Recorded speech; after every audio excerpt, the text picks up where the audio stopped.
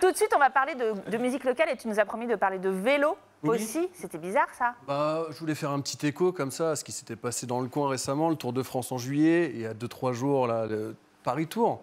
Bah, Bien sûr. Ça permet de parler de la petite reine et d'un de, un des références françaises de la petite reine euh, qui était Raymond Poulidor. Raymond Poulidor, hein, qui a officié dans le cyclisme dans les années 60-70, qu'on connaît aussi sous le nom de Poupou. Mais oui, Poupou. Le petit Poupou.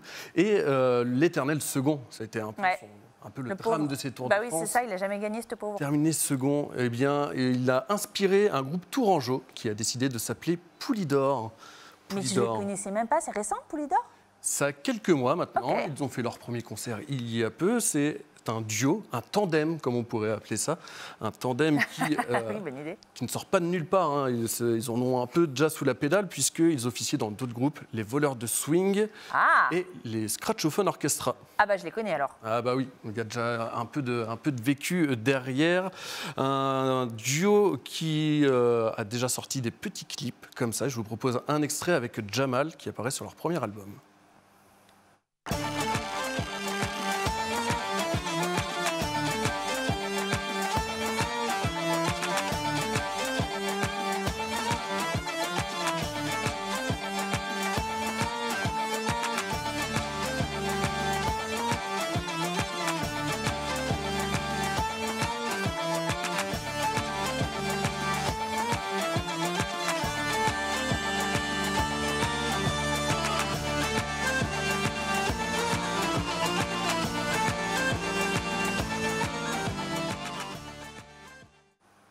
Ok, je les ai reconnus. C'est bon, je les connaissais. Ah, tu tu m'as donné leur nom, c'est bon, je valide ta réponse.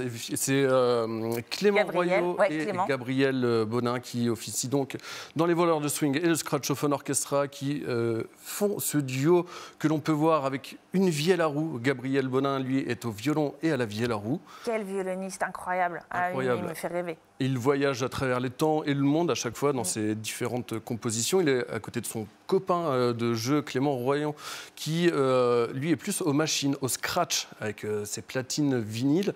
Et là, ils ont décidé de faire une formation où ils revisitent le traditionnel berrichon. Le néotrad, enfin ils font une espèce de néotrad, du traditionnel berrichon, grâce à la vielle à roue qui est incorporée dans ce, dans ce projet. Le néotrad, ce qu'on appelle le néotrad, justement, cette manière de re- revisiter les traditionnelles, les musiques traditionnelles qui Ouais. un peu abandonnées, mises de côté par les Genre générations Mano suivantes. Mano, on peut, on peut citer Mano, par On exemple. pourrait, on faut toujours citer Mano. Là, on fait ressortir les racines berrichonnes et auvergnates, notamment avec, euh, le, avec cet apport de la vielle à roue, hein, de- un instrument comme ça qui avait été abandonné. Ouais. Euh, Gabriel, lui, a des, un historique. Voilà, cette, cette magnifique à roue. Ouais, c'est ça. Hein. ouais. Gabriel, il a un historique, lui, avec le sud du Berry, les terres de Georges Sand, Nohant. Eh oui, Voilà. Nohant.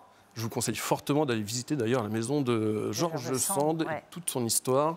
Voilà, donc euh, des terres très imprégnées de cette culture traditionnelle euh, dont, euh, dont Poulidor viennent ressusciter, apporter un petit peps.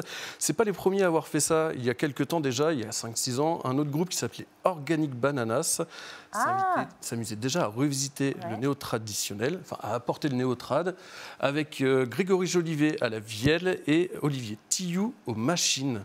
Et voilà, on va te mettre un petit extrait pour se remémorer cette formation Organic Bananas.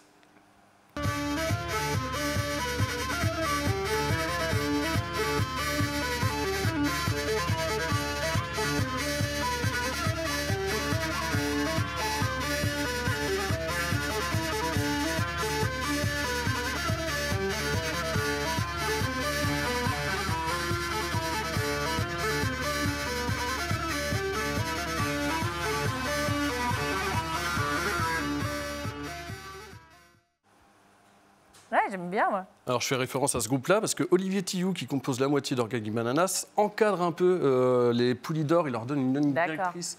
Donc c'est quelqu'un qui sait s'occuper de la vie à la roue, les sonoriser, leur donner un son et euh, surtout leur, une direction artistique. Là on entend des sonorités qui nous font voyager un Ouais. peu, des microtonales comme on pourrait appeler ça, qui euh, se sont perdues dans une musique qui s'est un peu uniformisée au fil des années. Eh bien la vielle vient apporter ça.